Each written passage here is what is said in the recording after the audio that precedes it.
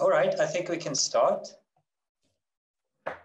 Um, so uh, welcome everyone. Uh, it's really a pleasure to have you all here.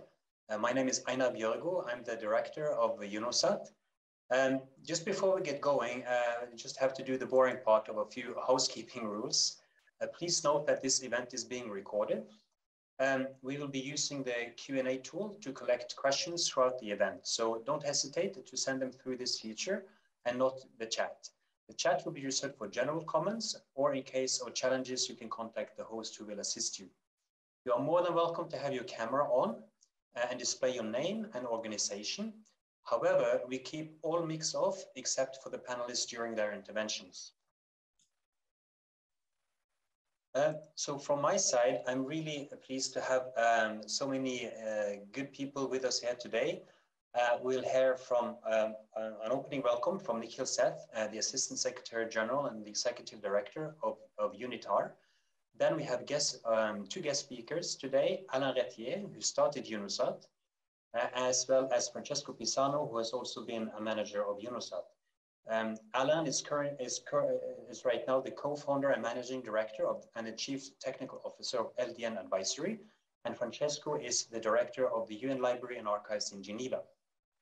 Uh, in addition to that, we have uh, several, um, four uh, user testimonies to learn of the impact that UNOSAT has on the ground.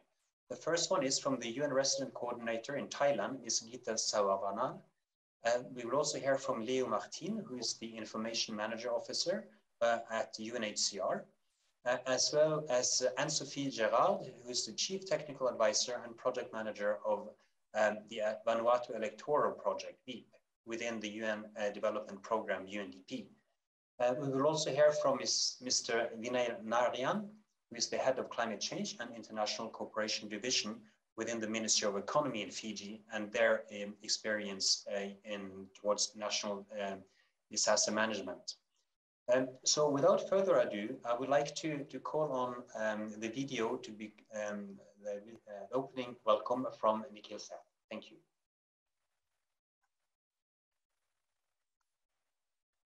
Excellencies, colleagues, ladies and gentlemen, it is a great honor for me to be with you to celebrate UNOSAT's 20 years of operations. What a ride it has been. From the early days, with only a handful of people sitting at CERN, we now have a team of 50 people all over the world.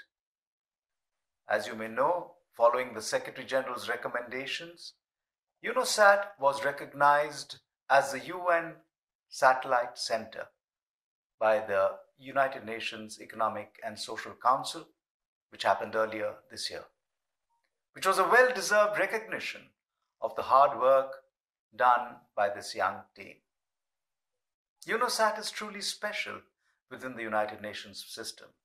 Its focus on applications of satellite imagery and related geospatial technologies for both operational support to member states and UN sister agencies is truly unique.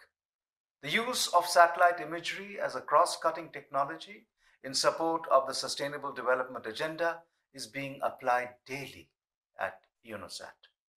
From support to disaster situations such as floods, earthquakes, and tropical cyclones, to support towards climate change adaptation, election planning, cost efficient project monitoring, protection of cultural heritage sites, and conflict analysis, including human rights assessments, UNOSAT's use of technology is truly exceptional.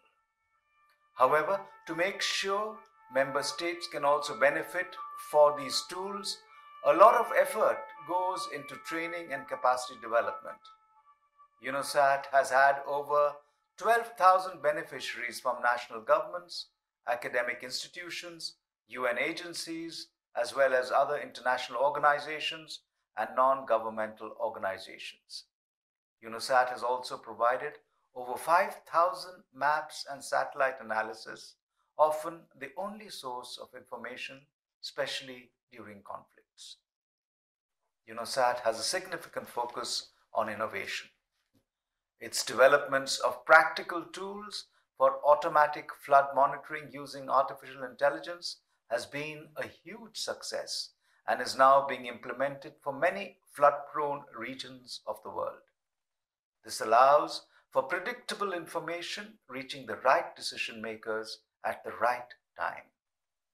However, none of this would have been possible without the voluntary financial and in kind contributions from so many member states. UNOSAT's financial support from Norway, the United Kingdom, Germany, France, Sweden, Qatar, and the European Union are some of these examples. The United States of America supports UNOSAT with in kind access to commercial satellite imagery. I would also like to thank Switzerland as the host country for its very generous support. I am very proud to have UNOSAT part of the United Nations Institute for Training and Research and look forward to further developments in support of member states and UN agencies as well as all our partners. Happy birthday, UNOSAT. I now have the pleasure to read a message we have just received from the UN's Secretary General, Antonio Guterres. And I quote uh, Secretary General when he says, I am pleased to congratulate UNOSAT, the United Nations Satellite Center, on 20 years of outstanding support to the United Nations system and its member states. UNOSAT has steadily developed its portfolio of services over the years from humanitarian rapid mapping and environmental assessments to supporting the climate resilience of small island developing states, protecting cultural heritage, leveraging artificial intelligence, providing objective analysis during conflicts, and exposing human rights violations. As part of the United Nations Institute for Training and Research, UNOSAT provides valuable training and capacity development to help communities prepare for floods and other natural disasters. We are grateful to UNOSAT's key partners, notably CERN and the International Charter on Space and Major Disasters, as well as the many member states that provide generous financial and other support. Outer space is a crucial global commons, but it remains under-governed. To ensure the continued operating space for the critical work of centers like UNOSAT, my report on our common agenda proposes a multi-stakeholder outer space dialogue at the Summit of the Future in 2023. Satellite imagery and analysis is an essential resource for the United Nations and the broader multilateral community. I look forward to the vital contributions of UNOSAT as we work together to achieve a more resilient and safe future for all. Unquote. Thank you very much. Thank you. Nikhil, and thank you to the Secretary General for those kind words towards our program, and congratulations to the whole team for being able to receive such great um, uh, feedback from the highest level. And with that, I would like to hand over to uh, Alain Retière. Uh, Alain uh, goes way back. Uh, he was the one who uh, founded UNOSAT. And um, I'm very pleased to have you here, Alain. I often get the question, you know, how did UNOSAT start? What, what was the idea? Who came up with this great idea? And I always tell them it was you. Uh, so could you uh, enlighten us a bit, you know, what were your motivation, what were your thoughts, and how did you go about um, starting this, uh, this endeavor? Uh, thank you, Einar, and um, uh, good morning, everybody. Uh, to answer your question, um, I think that the simplest way is to say who I am. I am uh, an agronomist and I have dedicated my, my, my uh, professional life to help uh, poor people, uh, especially rural communities. And I started my career when I was uh, 23 years old uh, in southern Mexico with the Maya communities. And I did field work with them in a number of um, areas like food security. But um, I was, while trying to help them out, uh, I, I got really the feeling that uh, um, you can help with small things, but if you want to make a change, you need to think bigger. And to think bigger, you need to, uh, to think territory. And territory means having access to the information. And what better than a satellite image can help you to connect the eagle view with the, the, the ground vision. And uh, uh, as nothing was really available at that time, I said, if I want this to happen, I need to make it. And it's how UNOSAT ID was born. So, so how did you then take it further? How did you were able to, to make this into a reality, Alain? Uh, well, you know, um, it was basically uh, 15 years of hard work as far as I'm concerned. And I'm mm-hmm. not the only one for but as a leader, it took me about five years to prepare, two years to establish it. And mm-hmm. I had the pleasure to manage it uh, on, the, on the growing curve for eight years. So 15 years of work. Um, how I made it. Um, first of all, uh, um, I was blessed to be part of a, a great agency uh, called UNOPS. Uh, UNOPS is, uh, is a special uh, agency within the UN system because we have we had no particular mandate other than serving the other UN agencies. Mm. And I was uh, um, lucky enough to be uh, given the opportunity to represent uh, UNOPS in a very important think tank called the Brookings Process, where we were uh, all the donors and UN agencies trying to see how we could connect better emergency with development how to bridge this gap.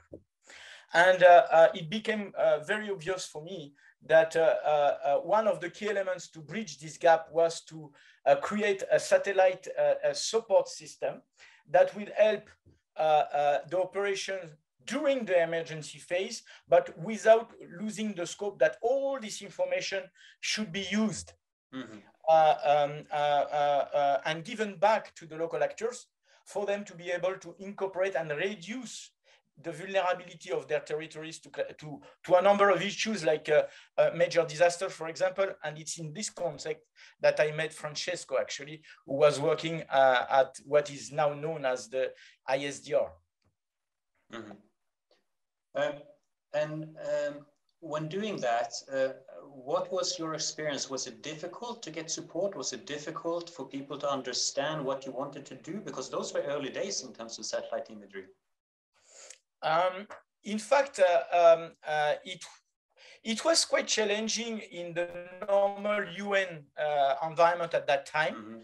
Uh, because of course uh, uh, there were so much needs in in direct support either for emergency or for for field work that coming with a um, a concept which was very technological was challenging. But I went to see the people that were actually generating this technology that were the, the Europe, in, in the case of UNOSAT, the European Space Agency and the French uh, um, uh, Space Center.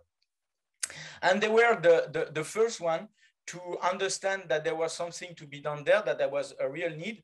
And they made, uh, uh, uh, they, they, they, they, provided us with the first two millions that uh, um, were necessary to, to launch yeah. the, the, the whole project. So in the beginning, it was sort of thought of as a demonstration project, or how was it? Well, actually, no, uh, it was more than a, a, pilot project. They, they, understood, and I, I, I, really advocated very strongly for this, uh, to make them understand that UN was something important, something big, and something that was bringing concrete benefits to the mm. people. And, uh, and, and this was not something that was uh, really easy for them to understand at the beginning because they had the general uh, uh, public vision, which is just a, a place where uh, government talks among themselves and, and, and, and that few con concrete actions are coming out of it. So I was basically an advocate for the cause of the UN in its field dimension. Mm-hmm. So I, I was sort of their teacher in how the system is organized, how the different UN agencies are working together, and mm-hmm. what we were trying to do and to improve. Yeah, great. No, it's super interesting to, to understand how you, how you were thinking.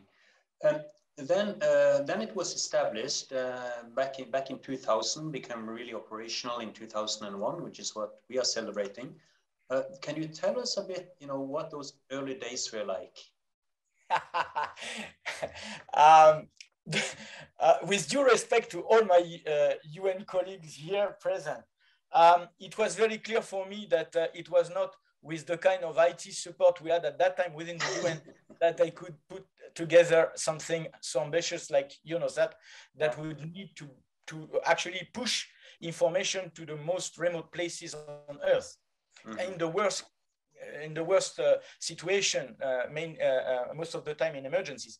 So but but in the neighborhood of Geneva, there is a very uh, um, uh, important institution, which is actually a, a, group of people who have constructed the biggest machine that humankind has ever built. And of course, those people have been even inventing internet. And this was CERN. So I, I started to speak to them. I was introduced thanks to my, uh, my former, my colleague, uh, Christophe Nutan, who, who, knew some people there. And I spent about six months convincing the deputy head of the uh, CERN IT department on what UNOSAT was about and mm-hmm. what concretely in, uh, in technological terms it would need. And, and he ended up by uh, understanding that uh, it was like, a, uh, that in fact, satellite images were just no more than matrix. And like any matrix, uh, it could be uh, um, processed through a, a, a, grid computing, which is now known as cloud computing. Mm-hmm. But it was the idea of, of, of cutting the images in, in small pieces and distributing it in uh, uh, uh, many machines. So, so to have the, the, the, the job done very yeah. quickly. I have and, a little quiz for you, Alain, if I may interrupt you. And Camille, can you show us the, the little surprise for Alain?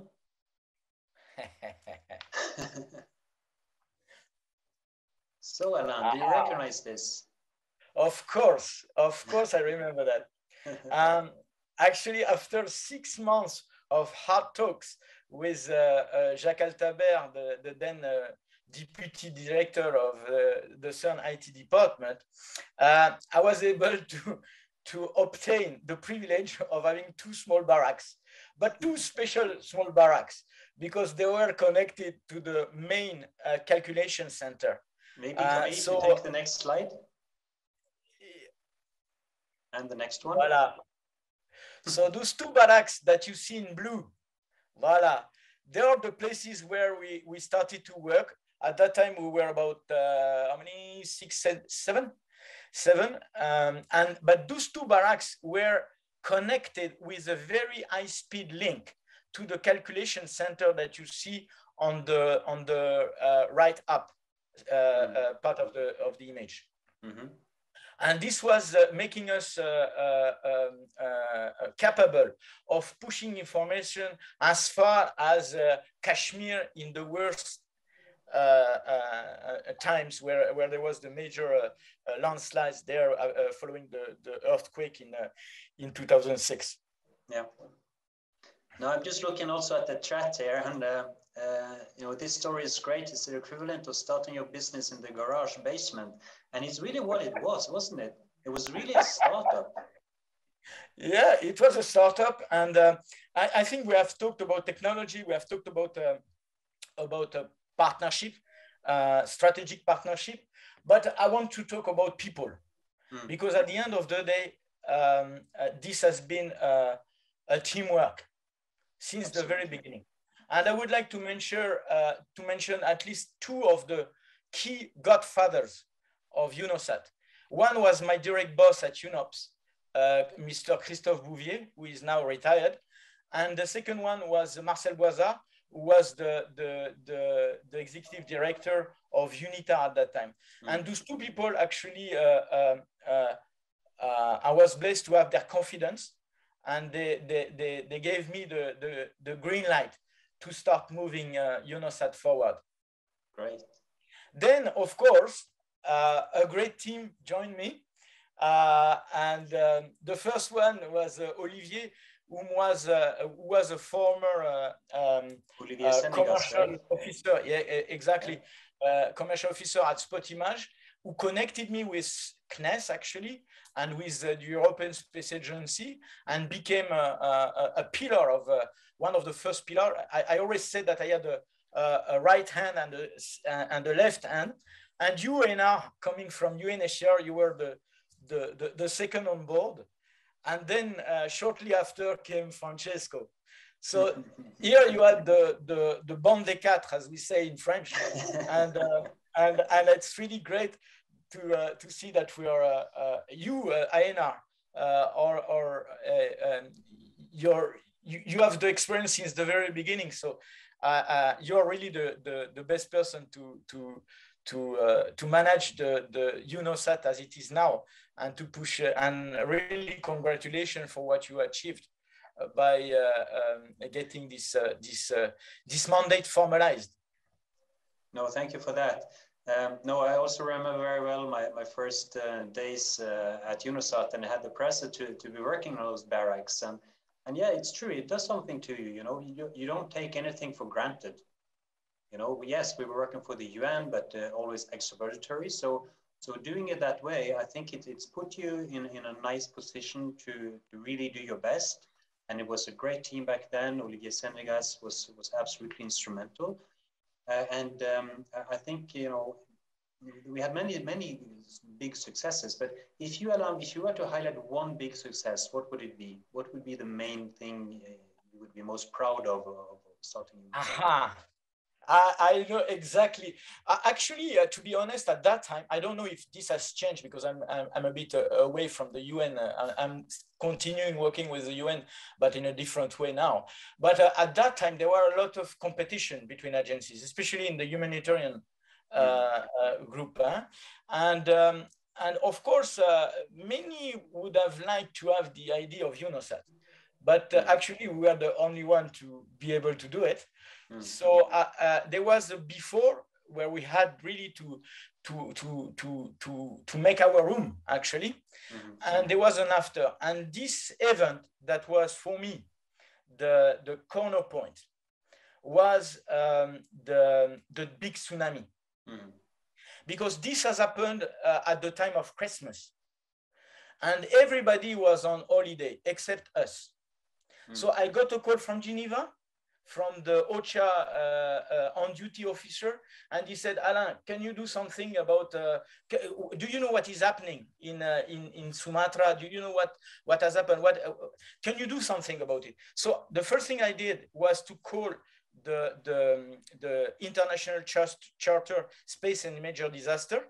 Mm -hmm. And for the first time, a UN officer was given the authority to uh, uh, command 13 satellites to picture uh, Sumatra, Banda Aceh. Mm. And we were the ones that uh, had the control. I had the control for about two weeks of 13 satellites. It was the first time ever that a UN officer uh, was uh, granted this responsibility. Hmm. And, and we produced a lot of maps.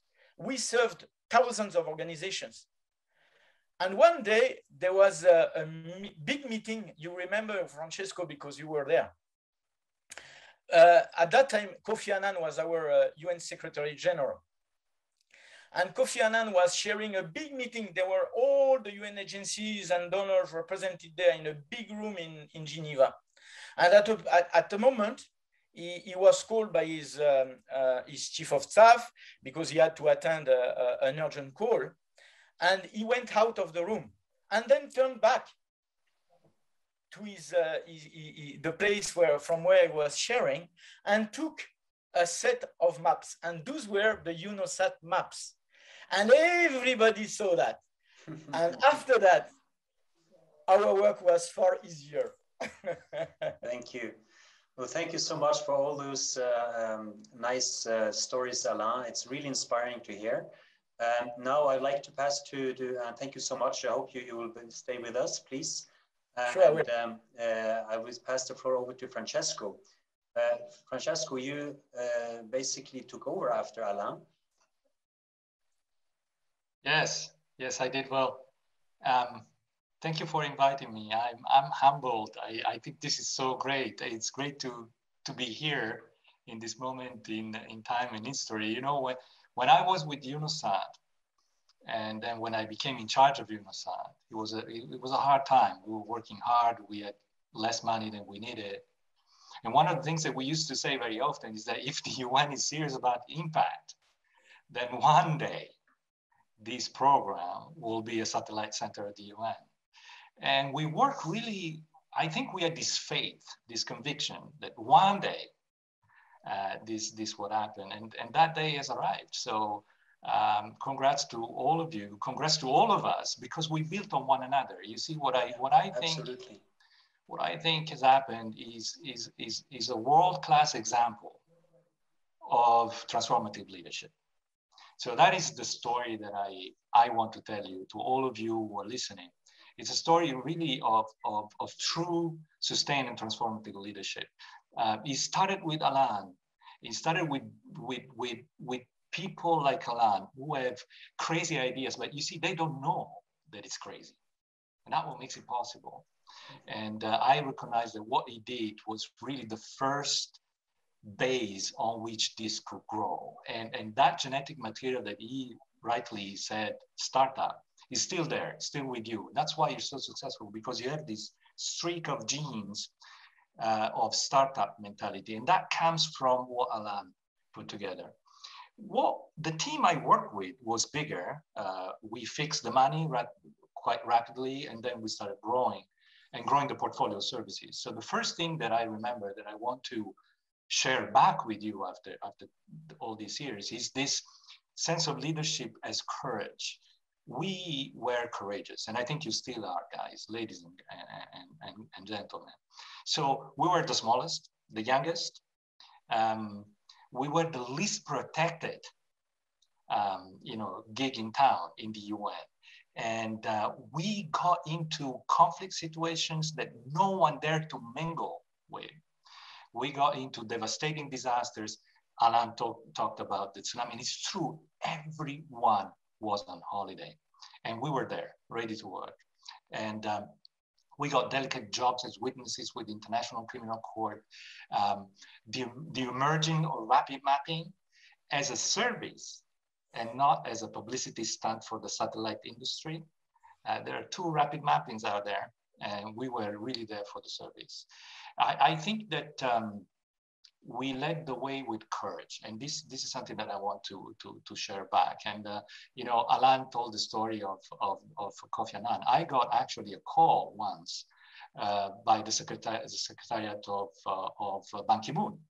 And so this lady calls me and she says, I remember it was 7.30 in the morning. I, I was just parking my bicycle and I got this, this, uh, this call on my mobile and there is a front office this is the front office of the Secretary General. And I said, yes, okay. And they said, the Secretary General would like to know when is the next time you're in New York, because he would like to see you. And so to cut it short, I went to New York uh, and, um, and he sat me down in, in his office for half an hour, just he and I. And so this was not a turning point for the program, but it was a turning point for me as a person because he told me what you do is pure courage. I want you to never stop doing this. And then I told him, then you need to help us because we see we, we live in an organization that delivers by mandate, not by need. So I need the mandate. And he told me that you will have to do it yourself. I'm just asking you as your secretary general, I remember that as your secretary general, not to stop doing this. And so you remember, uh, certainly Einar, I came back and I told you this story and I said, we're never gonna stop. And so this is the second characteristic of our leadership. It was leadership to change things. And the way the UN plans and reacts to emergency, how technology is there to be used and make the difference, I think this is a characteristic of UNOSAT. And um, change doesn't come out of the rule book. And this is something that big organizations like the UN do not understand. They're designed not to understand this. And this is a pity. And so change does not come from the rule book. It comes from creativity and stubbornness, despite the, the rule book. Now, stubbornness, and someone said before me, is a virtue only when you're right.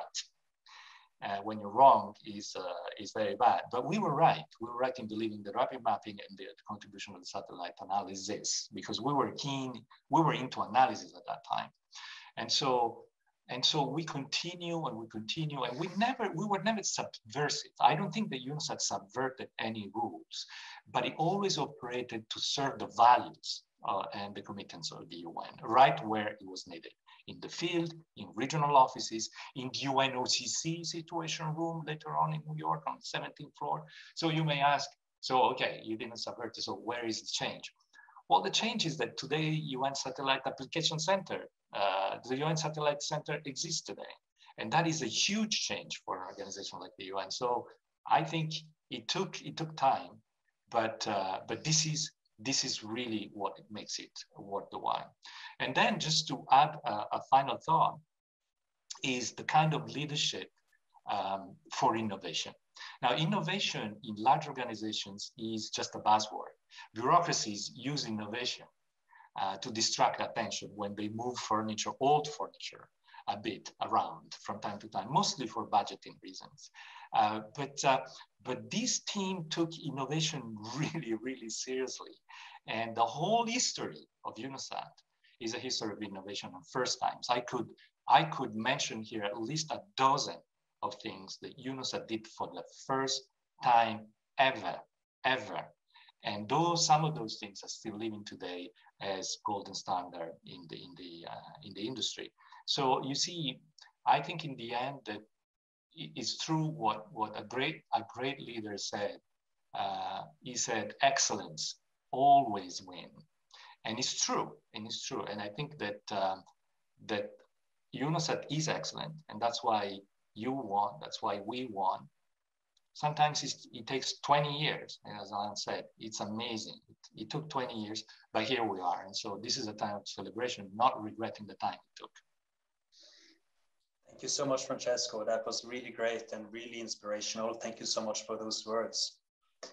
Um, so uh, with that, uh, I think we should also uh, hear um, some stories, uh, testimonies uh, of the beneficiaries of, of these services that you have been you have been hearing about.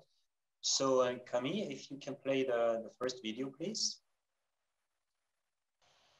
Assistant Secretary General Nikhil Seth, esteemed colleagues, and distinguished guests. It's my pleasure to join you virtually for celebrating UNOSAT's 20th anniversary and also extend our thanks for the services UNOSAT has provided to UN funds, programs, specialized agencies, and the member states in support of the achievement of the Sustainable Development Goals. As you know, Thailand experienced widespread flooding in the central and northeastern provinces this year, a decade after the devastating 2010 floods. Triggered by two tropical storms and persistent monsoon rains, floods occurred in a vast geographical area. The hazard was also very dynamic given that floodwaters move from the highlands to plains over two months. The insights from satellite image analysis provided daily by UNOSAT help the government and the UN to understand the extent of flooding potential hotspots across provinces, the number of people impacted, and the nature of immediate support required at the community level. The periodic satellite updates also helped us monitor the trend of flood evolution and compare the situation against the 2010 flooding to offer evidence-based flooding scenarios. To tackle the vast geographical scope and the long duration of the event, UNOSAT used artificial intelligence and developed a decision-making dashboard that we embedded in the UN Thailand website to institutionalize dissemination. The high quality, evidence-driven rapid analysis proved invaluable during the emergency when objective information is typically hard to come by. We understand that the government is also using the satellite image of UNOSAT to map agricultural damage and compensate affected farmers across the country. Based on this engagement, FAO and UNDP will be partnering, partnering with UNOSAT to support subnational capacity building to utilize satellite imagery to better respond to emergencies at the local level and track the impact on agricultural yields. As you're aware, satellite imagery has become one of the crucial tools for disaster risk management and resilience building. It gives us the ability to collect continuous observations of the Earth, which shapes our understanding of hazard dynamics, development pat patterns, monitoring of risk driving factors like climate change, environmental degradation. Satellite imagery can also provide crucial information to analyze air pollution patterns, provide data for biodiversity assessment, and help farmers to engage in more sustainable agricultural practices. In addition to that, frontier technologies such as artificial intelligence, machine learning, big data analytics can unlock hidden patterns, making satellite data more practicable for member states, private sector, and the civil society. We are confident UNOSAT will continue to deliver the operational services and to develop cap capacities across the UN and the government to advance SDGs by harnessing the power of these modern tools and technologies. I would like to end by congratulating UNOSAT on its new status as the United Nations Satellite Center approved by the ECOSOC resolution earlier this year. The UN country team in Thailand looks to continuing to work with you to bring the benefits of satellite imagery and other geospatial technology applications to the people in need. I would also encourage other UN country teams to make best use of these very useful services from UNOSAT. Thank you very much for your time.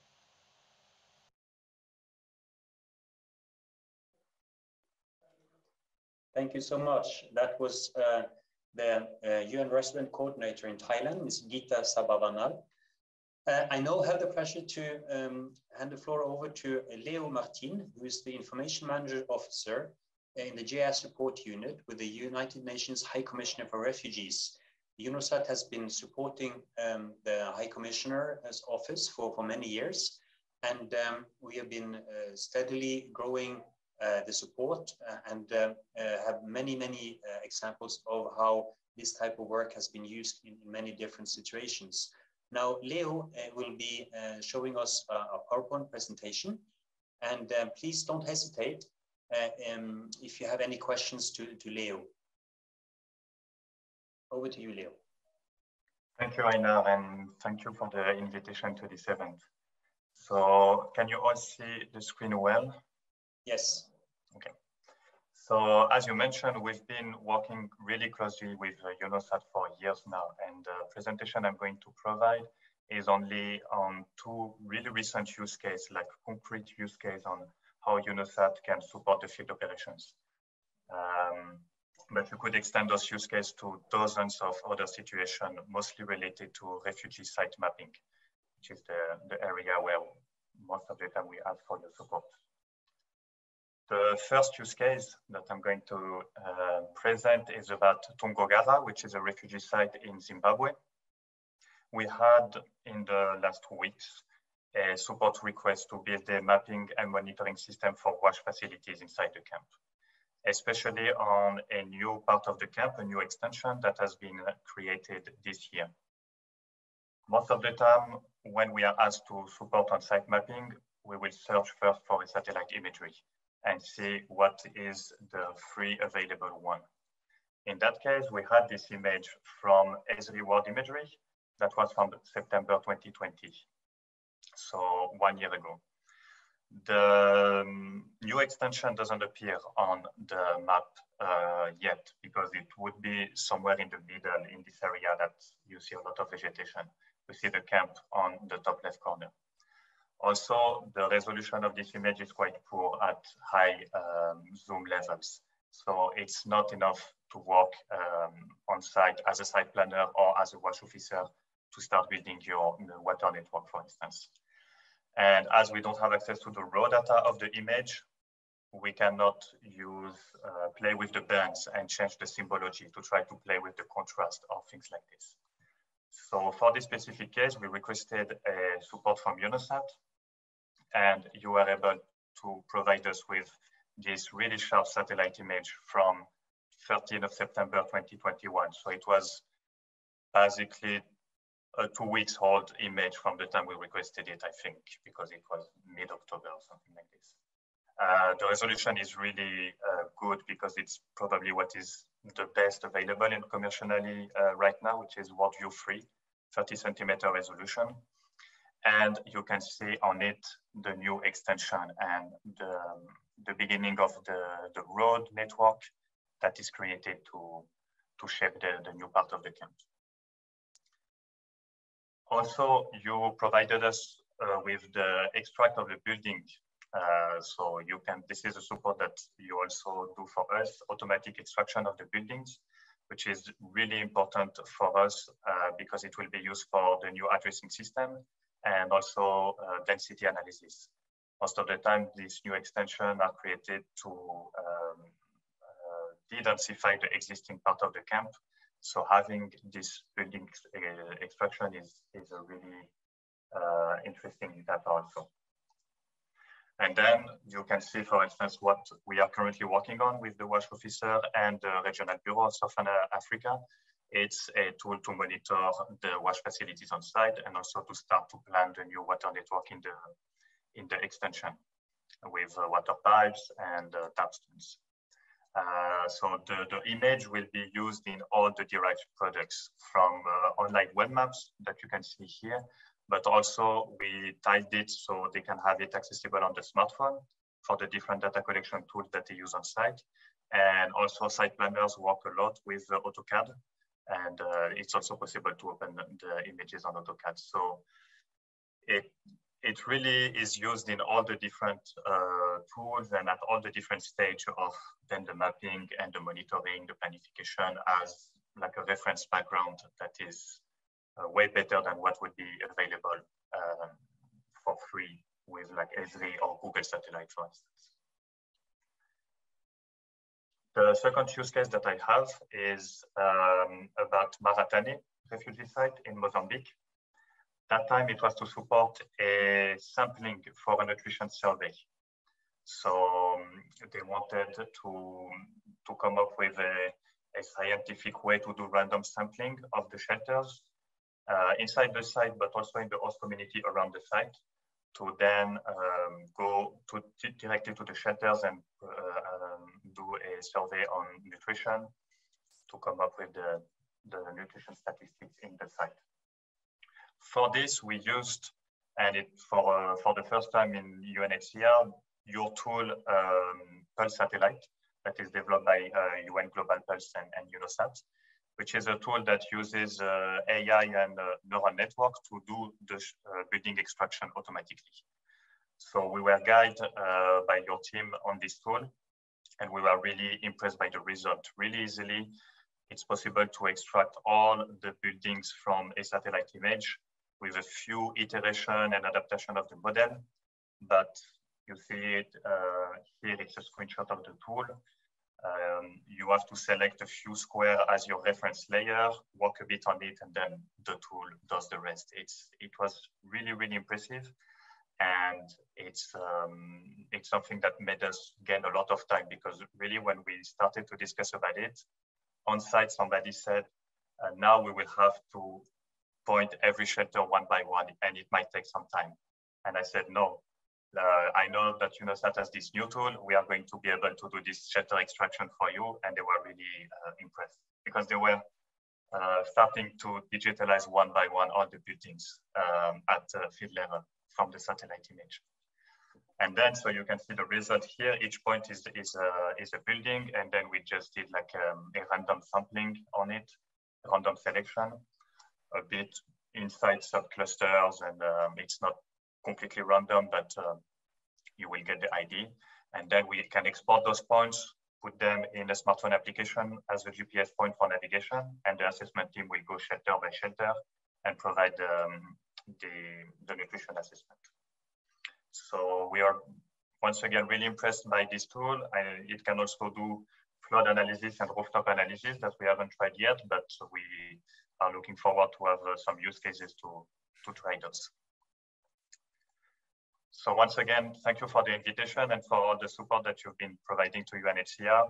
It was only two short, uh, concrete example to show you like how it can support operation. But like I said, we can have dozens of other, also all the maps that are produced by uh, REACH for CCCM, uh, for which is a cluster sometimes led by UNHCR, are really helpful for us. So thanks again for, for your support during all these years. Thank you. Thank you so much, Leo, uh, for these excellent examples. I think is, you know, many of these things you, we, we think, tend to think about mapping refugee camps as just, you know, providing the shelters. Uh, but your uh, testimony here shows that, you know, it's actually being used for something. It's not just to have have uh, a nice map, but it's actually to, to take informed decisions. And I think that's really interesting. Um, so from uh, also a bit, um, you know, the way when we first started to, to look at um, uh, artificial intelligence and, and, machine learning, it really also came out of, um, of the Syria situation because there we were quite active in, in analyzing, um, especially the Al-Zaatari camp. And what was um, happening there was that a lot of people were crossing the border from, uh, from Syria into to Jordan. Uh, and basically uh, that camp became uh, Jordan's fourth largest city in a very short amount of time. Uh, and it was also, you know, not that easy to analyze it because people were moving around in the camp. So it wasn't just a question of adding new tents. Basically, every time you had to reanalyze the whole camp.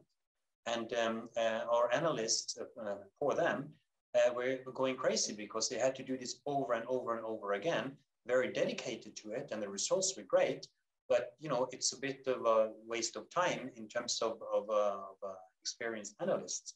So that is how we, we also started to, to work with, with the UNHCR, with Andrew Harper, and, uh, and, uh, and uh, other colleagues, of course, uh, in, in this, um, this for these tools to, to be developed. So, so really, thank you so much for, for you know, showing us how this actually makes a difference on the ground. Thank you. Are there any questions?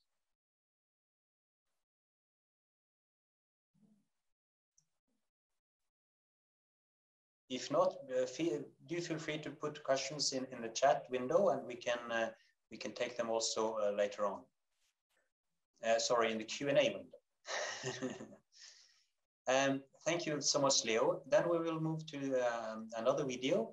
Uh, this one is by Anne-Sophie Gerard, she's the Chief Technical Advisor and Project Manager in, of the Vanuatu Electoral Environment Project, VEEP, uh, with the UN Development Program. Um, this video is, is um, uh, very interesting, I think. Uh, it uh, really goes into a lot of details, and uh, I'm looking forward to see how um, you know satellite imagery is also being used for these type of applications. Thank you. Good afternoon from Vanuatu.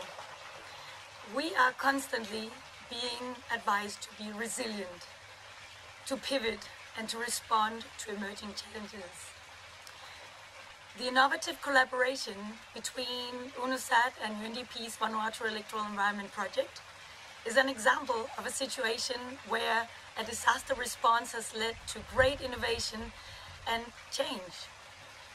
In 2020, Vanuatu ranked in the top 10 nations in the world for vulnerability to natural disasters and truly lived up to its ranking with a devastating and, and dual impact of both Category 5 tropical cyclone Harold combined with the uh, COVID-19 pandemic.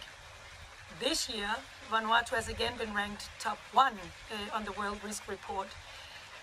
So interagency planning and response has long hindered Vanuatu by the paucity of accurate democratic data and poor location mapping.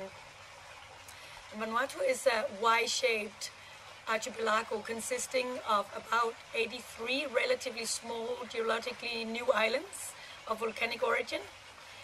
Uh, about 80% of them are inhabited and stretches over approximately 1,500 kilometers between the most northern and southern islands. Vanuatu is the most uh, linguistically diverse nation per capita as well in the world, with around 140 distinct languages.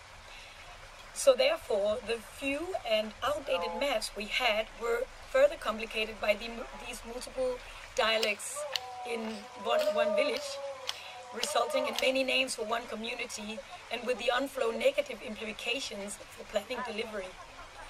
In the past, there were many incidences of multiple disaster responses where packages being delivered to one village that had four names, meaning, of course, they got more response packages, but rather confusing planning, unstructured, uncoordinated planning.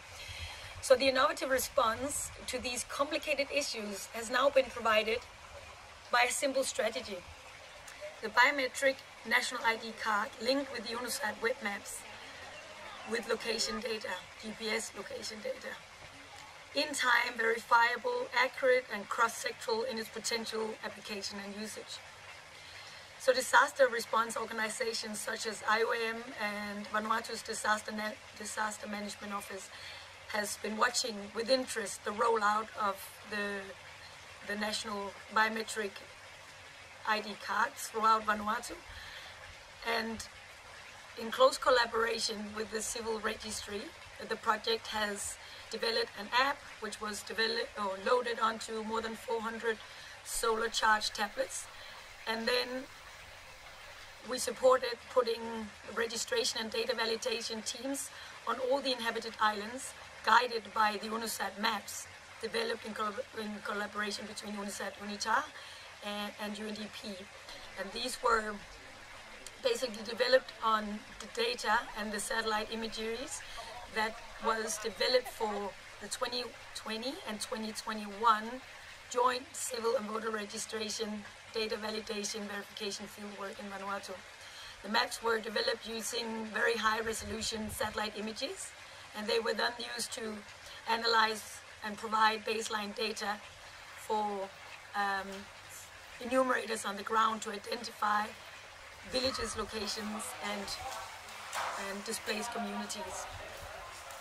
So the data collected for the national ID card was expanded with UNICEF's technical support to include GPS location data um, on the persons that resided on the islands and in the villages where they had moved to, um, as there is a lot of villages seem to move uh, in Vanuatu. Um, and we then include the, the GPS uh, location data on the village, together with their facial images and gender, date of birth, and as much of an address as is possible in Vanuatu. So ostensibly this informed the national ID card for a verifiable in-time electoral roll, which had in the past been a very uh, inflated roll. Uh, but now linked to these atlas maps and a specific identifying number or code for each village and polling station locations, agencies in Vanuatu has seen the huge potential and beneficial ramifications, um, not merely for the transparent, accurate electoral rolls, but also for the rollout of disaster responses, for cash-based payments, for displaced persons, for management and resourcing of evacuation centers, and so forth. The Ministry of Health has already utilized the combined national ID card and the web, web map identifiers for uh, the implementation of the national vaccination campaign. And the Ministry of Education has commenced utilization of the data uh, and mapping to plan school locations, school, school constructions, teacher staffing numbers, uh, procurement of material uh, for the new season, uh, the school year, and so on.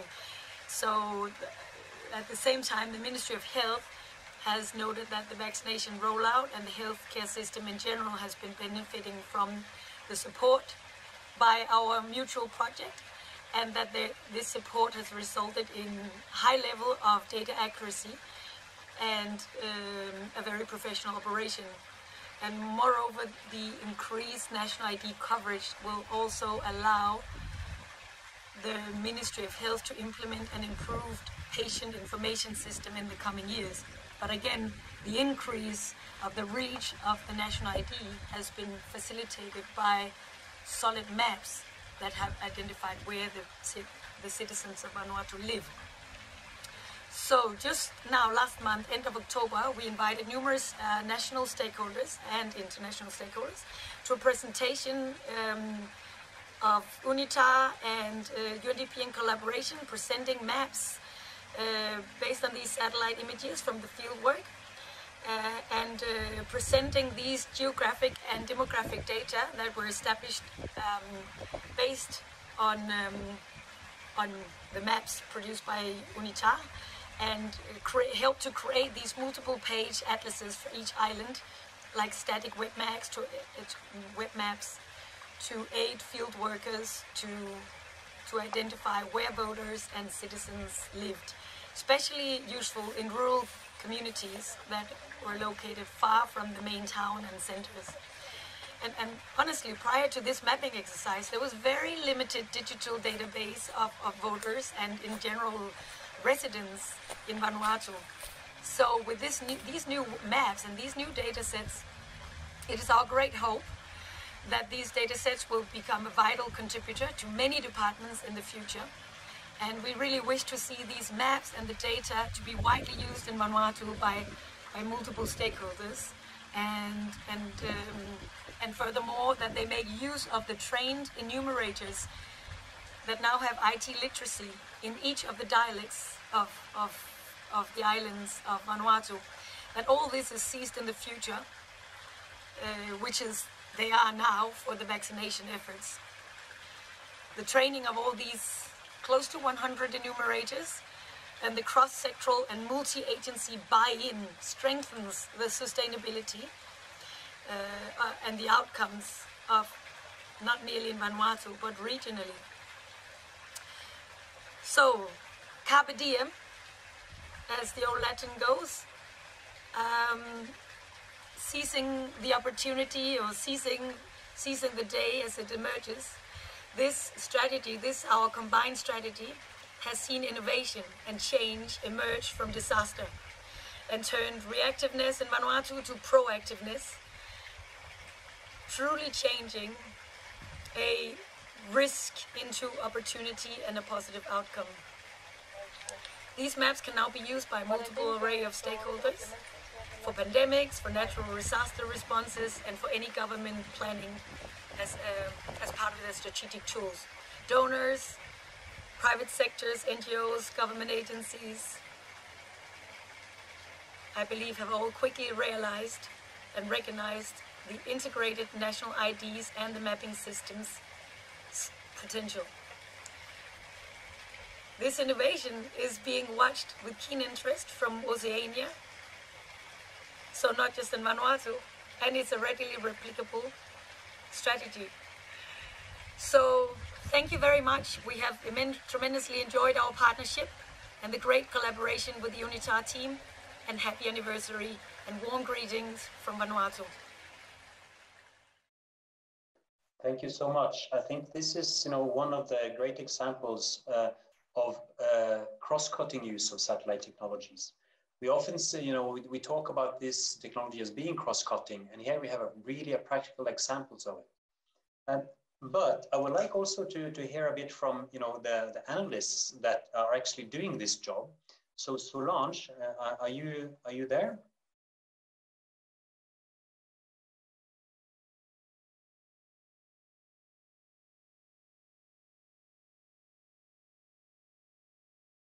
see if she can join us.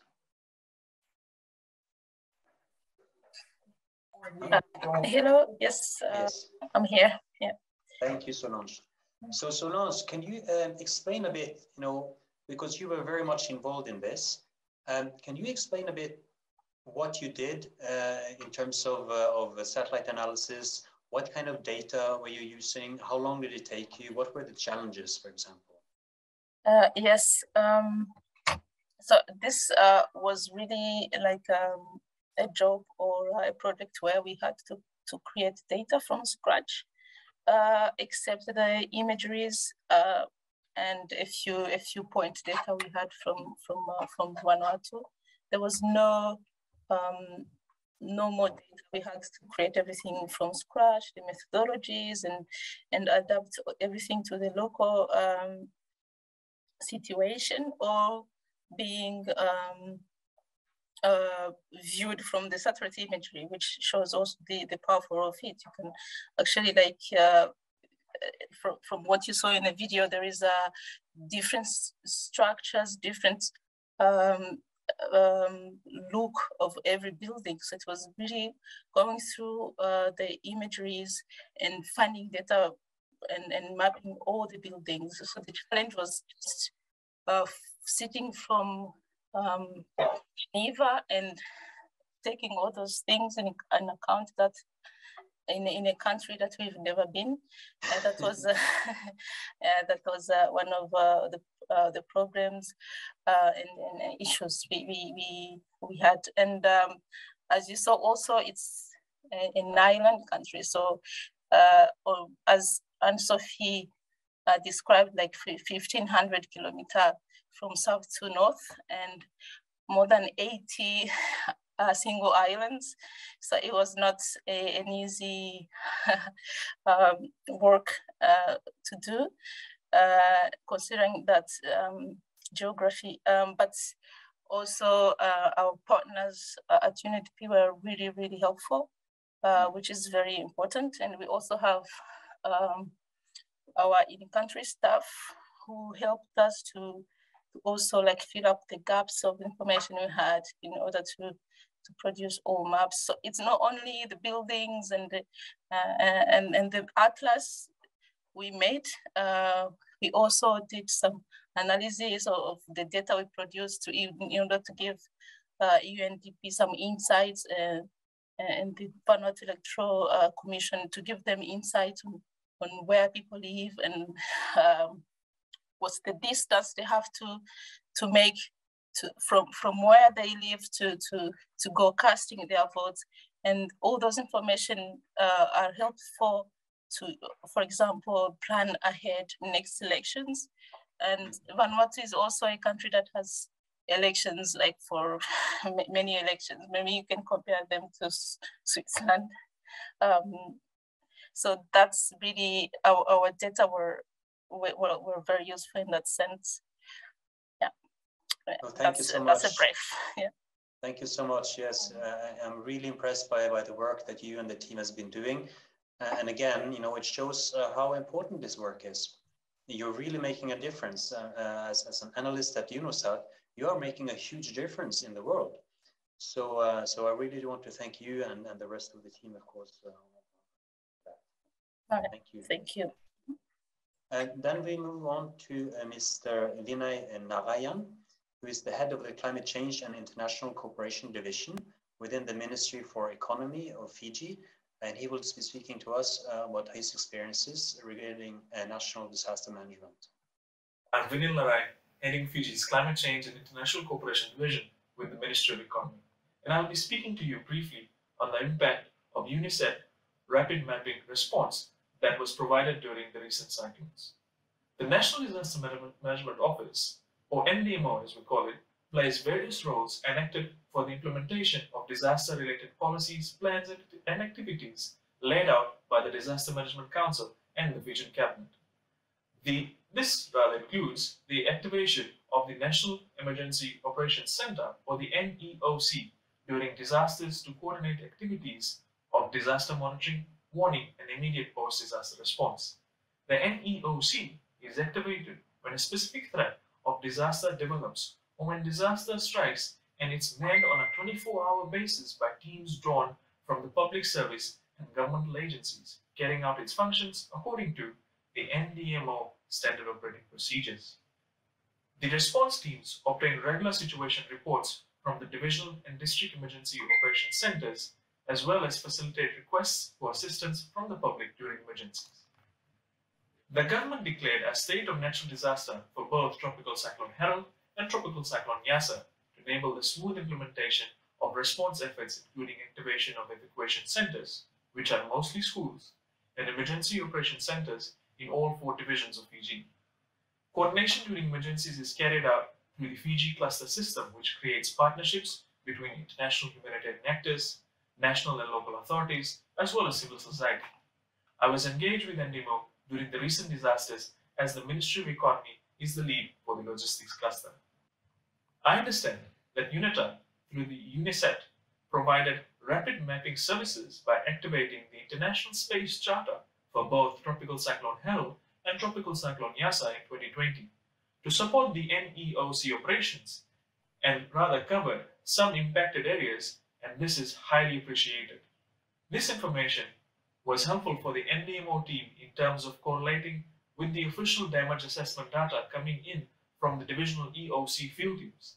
Initial damage assessments are then reviewed into detailed damage assessments once we have more field information. The UNOSAT web map, where you can download these rapid mapping products, are also resourceful to the development partners that are part of the Fiji Cluster network that may quickly need that information to activate their response to these affected areas.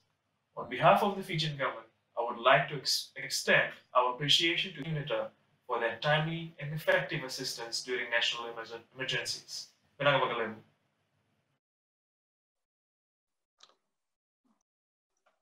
Thank you so much. Um, yes, so in terms of, um, um, if anyone has any questions uh, that you would like to, to raise, if not, if not, uh, uh, Camille, can you please show the, the timeline slide?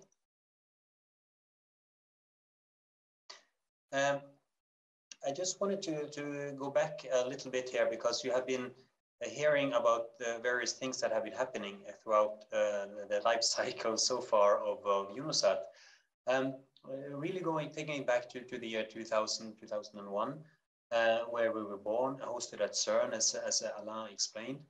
Um, we also had the great pleasure of being partnering with the International Charter on Space and Major Disasters, part of the UN back in 2003. Uh, in 2006, uh, to our surprise, we got uh, the UN 21 award, which was very, very nice recognition of the work.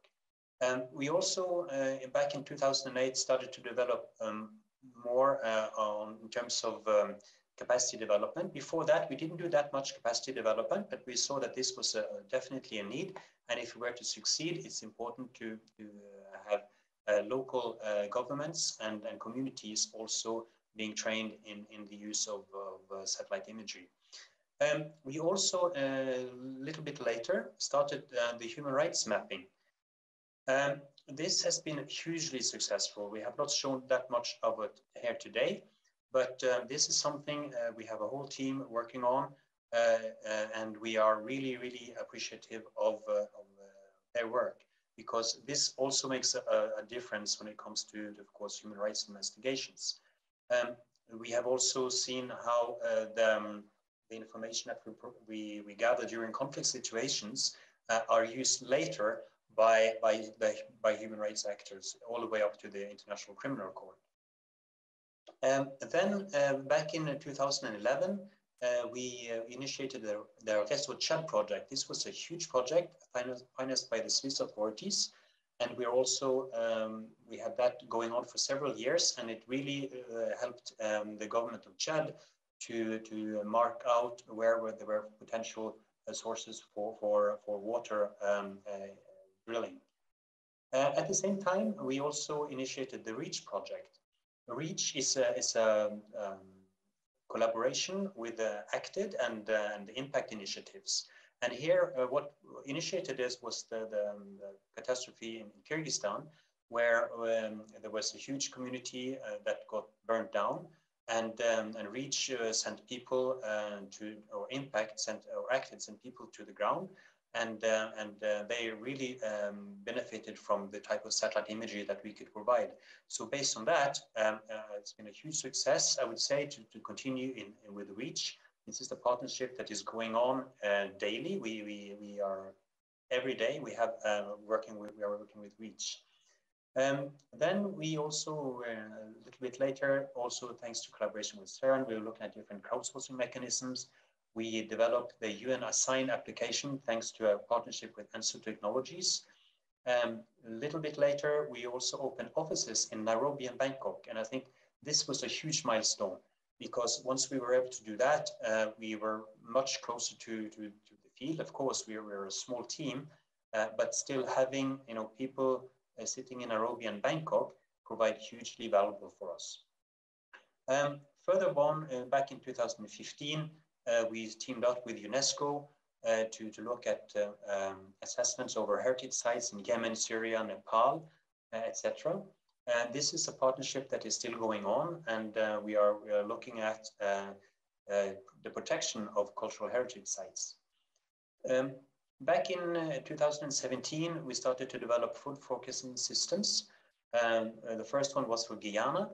Um, and then uh, comes also in, back in 2018, uh, a very uh, important project, the Common Sensing Project. We have not presented it that much today, but um, the, the, the, Common Sensing Project is financed by the UK Space Agency. It's, it's a four-year project um, that we have been delivering um, that is almost uh, towards its end. And here we have developed various types of decision-making tools for the governments of Fiji, Vanuatu, and the Solomon Islands.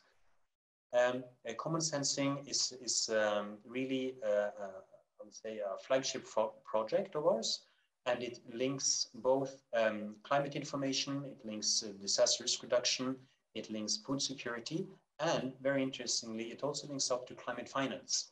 So this is where also we're working with the Commonwealth Secretariat uh, in, the, in, the, in the, out of London, and of course also their climate finance advisors. And moving up to 2020, uh, we saw the development of UNOSAT Flood AI uh, model. here I also would like to, to really thank the University of Wuhan in China uh, of uh, the great collaboration we have had with them uh, on all the, the excellent interns they have been providing us with. And then, of course, leading up to, um, to the UN Satellite Center, back in 2021. Uh, uh, we were very pleased to have this recognition uh, that also went with, with a clear mandate to what we were doing. And um, yes, that was really something for us to, to, to be very proud of. and I would like to, to thank all the team and of course everyone. there are many people had a come and gone of UNOSAT over, the, over these 20 years. Uh, I'm not going to mention anyone in particular, but uh, so many people have also found very interesting jobs elsewhere. And, um, and I think uh, the, um, the feedback we got is that the experience from UNOSAT has been hugely uh, valuable for them in, in getting also uh, advancing their careers. Um, so uh, with that, uh, I would like to, um, unless there are any questions. Um, Inari, if yes, if you allow me, yes. Well, Alain has his hand raised. Um, he ah, did yes, provide a comment uh, that didn't make it to everyone? I will keep it for later when you, when you're finished. Uh, there is something I, I would like to say, but uh, please uh, continue, and okay. I will uh, I will uh, take take the floor when I'm allowed. Mm -hmm. You keep us in suspense. yes. we we did get a couple of questions from the Q and A. Um, how did UNOSAT become a UNITAR program? Uh, asking specifically to Francesco, this leadership as courage is a very inspiring idea. How can we as UNOSAT staff cultivate this value in our daily work?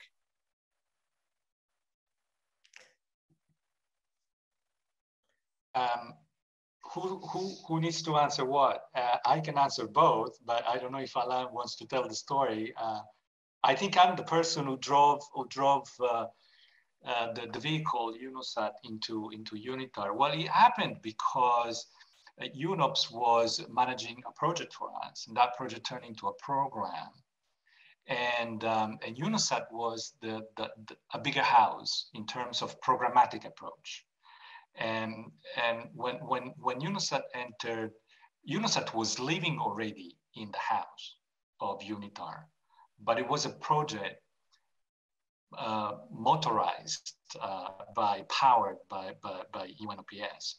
And there was no conflict there. There, there. there, was a transition. I think it was a question of size and it was a question of projecting ourselves as the center to be.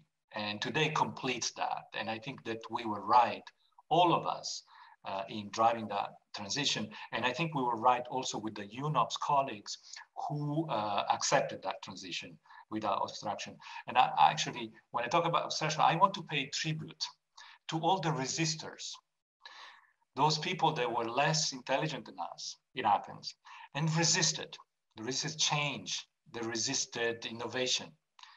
Uh, they played mandate against uh, substance. those people helped us draw the definite map where we needed to go. They made us more courageous. They made us stronger. So I think it's a time to pay tribute to them and also pay positive tribute to a couple of names that all of you know. ESA, the European Space Agency, ESRI. These are the peoples that outside the boundaries of the UN, including State Department in the US, believed not in the brand and the mandate, but believed in what was needed to be done at that time, and they helped us out. Uh, for the question of, of, of uh, courage, uh, leadership as courage, you have it in all of you because you, I follow you, I follow what you do, and it's still there. So if leadership was like a vehicle, if you want, like a car or a bus or whatever, then you know uh, what fuels that courage is actually collaboration. So every team that is superior in results have this characteristic. They're able to uphold a culture of collaboration, which everybody talks to everybody and everybody collaborates with everybody. So this is really what will get you and keep you going. So that is the thing to treasure. So that's my advice to you to respond to the second question. Thank you. Alain, did you want to comment on that? Well, yes. In fact, um, uh, uh, I th think basically, uh, the, the, the UNOSAT is a, a, a, a, great result of what can two UN agencies um, um, thinking in the right way can achieve.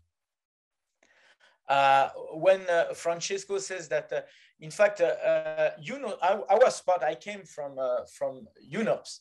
That was probably um, I at least uh, in terms of budget, about uh, 100 or 200 times bigger than UNITAR. But UNITAR was having a mandate that was uh, neglected at that time. Research and training, training and research.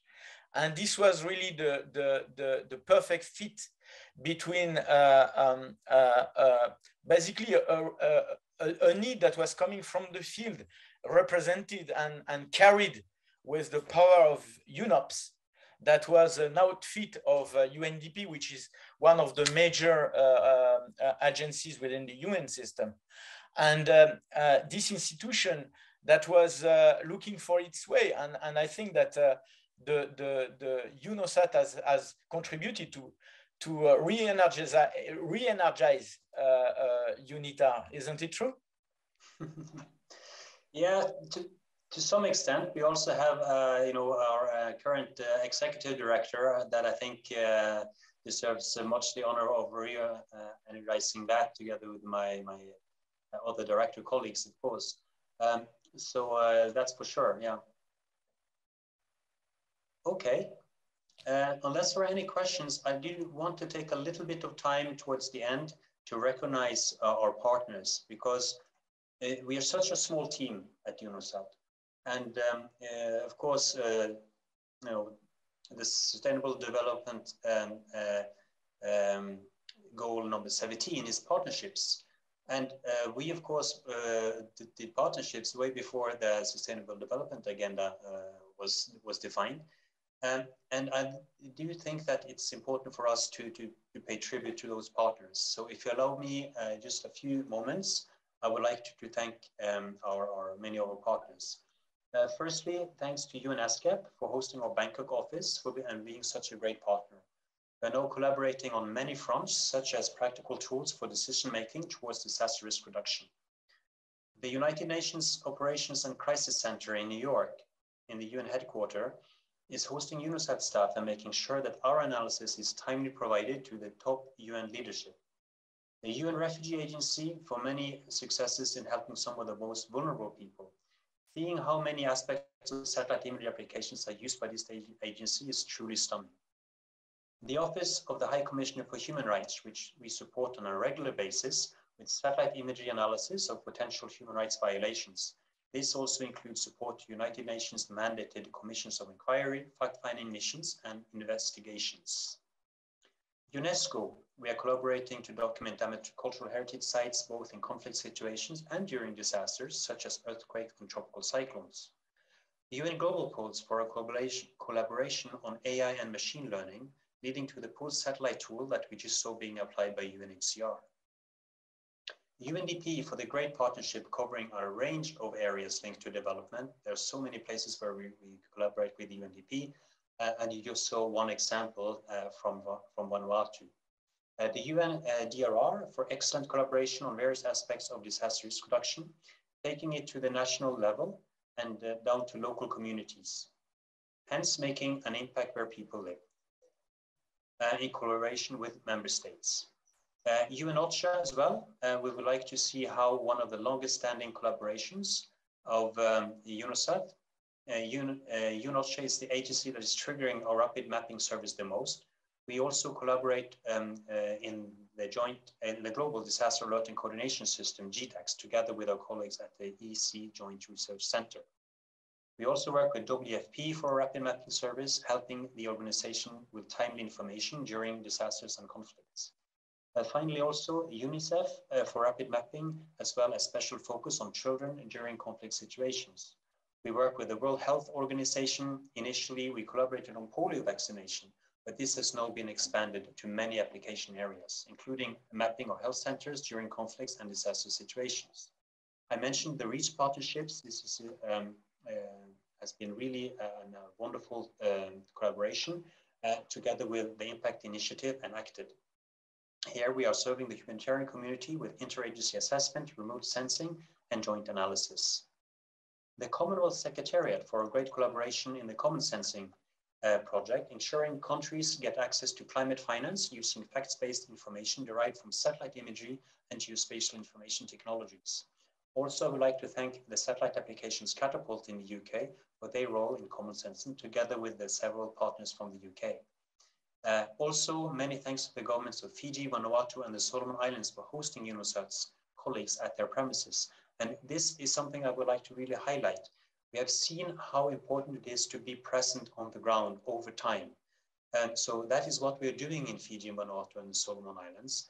And being there over time means that we learn a lot, we understand the needs, and we're able to provide the information that is needed to the various actors on the ground. Uh, also, the Arab Bank for Economic Development in Africa, BADEA, where we are developing a monitoring tool for cost-effective assessment of infrastructure projects. As you um, heard from the message from the Secretary General, our partnership with the International Charter on Space and Major Disasters ensures timely satellite analysis during disaster situations. This is a partnership that we have had since 2003. In this context, I would also like to thank our colleagues at the UN Office for Outer Space Affairs for the good collaboration. In addition, I would like to thank the US Department of State for their highly valuable support when it comes to accessing high, resolution satellite imagery. Their in-kind support ensures our services are timely provided in a cost-effective manner. Finally, CERN. Without CERN, there would be no UNOSAT. It's as simple as that. Alain also explained that to you. Our, all our IT infrastructure is hosted at CERN, but also the scientific collaboration is fundamental. CERN has been absolutely instrumental in helping us develop our AI tools. I would also like to thank our financial contributors from Norway, the United Kingdom, Germany, France, Sweden, Qatar, and the European Union. I'm also grateful for the government of Switzerland for their support. Now, what is next? We have now turned 20 years. Uh, what will the future look like? I think UNOSAT will continue to advance the applications of satellite technologies for the benefit of member states and sister agencies. We will do so by combining decision-making tools with capacity development, always through an in-depth understanding of needs. And this is really important. There's no one-size-fits-all. We will strive to ensure practical impacts from satellite imagery technologies. The COVID situation has opened the eyes of many when it comes to an understanding that satellite analysis can actually be obtained of areas hard to physically get to, thus also contributing to leaving no one behind.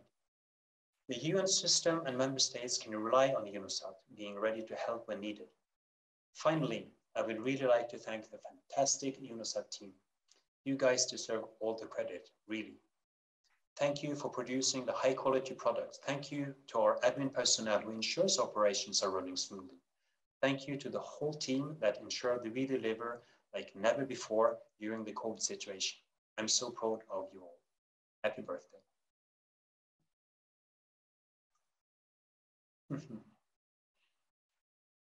Thank you so much. It has been a wonderful uh, event.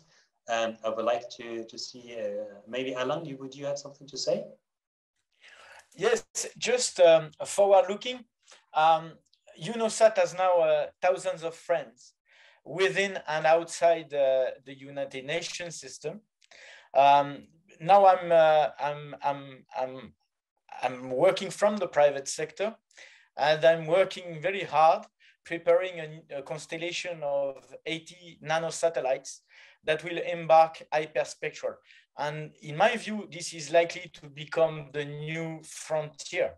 It's very tough. There are a lot of technological challenges, but uh, it's what I'm working hard to be able to contribute to, uh, to UNOSAT that, uh, that is basically the, the key hub between uh, private sector and the UN system and the people that are working uh, in the field and the people that are benefiting from this huge work. Thank you, Anna. And Thank this you. is called and this is called Prométhée. You will hear about it. Thank you, Anna. Very nice. Thank you so much. Uh, uh, are there any other questions for the team? No, if not, then um, we're gonna celebrate here in the office. Uh, of course, we would like to have uh, all of you here, uh, but that's not possible, uh, unfortunately. Um, but uh, we will have a little birthday cake here, maybe some bubbles, and we will celebrate. And, and um, really, thanks to the whole team for, for their huge efforts. Uh, I'm really proud of this team. Uh, it's just a set of wonderful people. And uh, I think we have uh, a wonderful uh, opportunity to see how we can advance this, the, the applications of satellite imagery together. Thank you so much.